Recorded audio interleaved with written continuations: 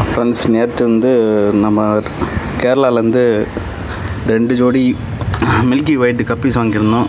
அதை இதில் தான் நம்ம குவாரண்டைன் பண்ண வச்சுருக்கோம். குவாரண்டைன் பண்ணுறதுன்னா நம்ம தண்ணீரை வந்து பழைய தண்ணியை எடுத்து வச்சுட்டு அதில் கொஞ்சம் ப்ளூ மெடிசன் ஆட் பண்ணியிருக்கோம் ஆட் பண்ணி அதில் வந்து கவரோடு அந்த மீனை போட்டுட்டு கவரோட மீனை போட்டுட்டு ஒரு பத்து நிமிஷம் கழித்து இதில் ரிலீஸ் பண்ணியிருக்கோம். ஏன்னா இதுக்கு முன்னாடி நம்ம வாங்கின புதுசாக வாங்குகிற மீனெல்லாம் இந்த மாதிரி ப்ராசஸ் பண்ணாமல் நிறையா அடி வாங்கிடுச்சு. அதனால் நம்ம ஃப்ரெண்டு ஒருத்தர்கிட்ட கேட்கும்போது இந்த மாதிரி பண்ணால் மீன் இறக்குறது குறையும்னு சொல்லியிருக்காங்க. அந்த ப்ராசஸில் நம்ம பண்ணியிருக்கோம். மீன் காலையில் பார்க்கும்போது கொஞ்சம் ஆக்டிவாக தான் இருந்து இதில் நிறைய மொயினா போட்டிருக்கேன். மோயினா சாப்பிட்டு இப்போ கொஞ்சம் ரெஸ்ட் எடுத்துருக்காங்கன்னு நினைக்கிறேன். ஒரு ரெண்டு நாள் கழித்து நம்ம புது டப்பில் மாற்ற வேண்டியது இருக்கும். ஏன்னா இதில் ஸ்பேஸ் வந்து ரொம்ப குறவு தான் இதுக்காக தன்மை ரெடி பண்ணி வச்சுருக்க டேங்கு இதுதான். கண்ணாடி டேங்கு நம்ம பாக்ஸ் டெயிலு அப்புறம் ஃப்ளோட்டிங் பிளான்ஸ் எல்லாம் போட்டு கண்டிஷன் பண்ணுறதுக்காக வச்சுருக்கோம்.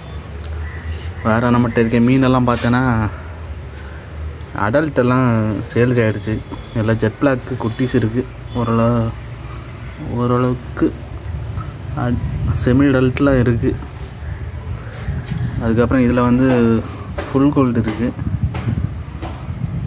ஃபுல் கோல்டு ஒரு ஃபோர் பேஸ் சேல்ஸ் பண்ணுற கண்டிஷனில் இருக்கும்.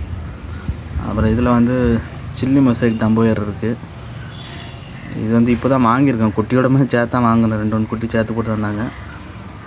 அப்புறம் இதில் வந்து பர்பிள் மொசைக் இருக்குது ஒரு ஜோடி தான் இருக்குது. இந்த பர்பிள் மொசைக்கு ஒரு ஜோடி போட்டு வச்சுருக்கோம். புதுசாக வாங்கி போட்டது தான் இதில் எதுவுமே இல்லை.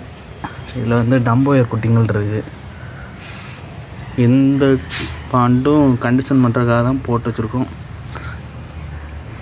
மீதி எல்லாமே வந்து கீழே ஃப்ரிட்ஜ் பாக்ஸில் வச்சுருக்கோம்.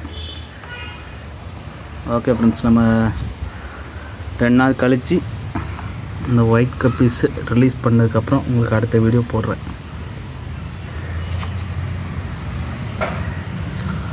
யாருக்காவது மூவி நான் வேணும்னா கீழே நம்பர் கொடுக்குறேன்.